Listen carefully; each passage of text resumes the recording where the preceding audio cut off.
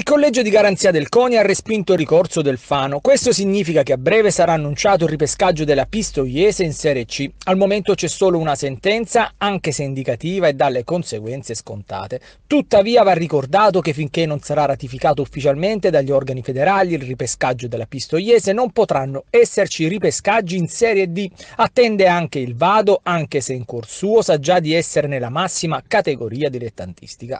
Va ricordato che i ripescaggi in questa fase, e solo in questo caso, possono essere disposti in qualsiasi momento, anche di notte, visto che vengono stabiliti dai presidenti di Lega senza dover transitare dal Consiglio federale.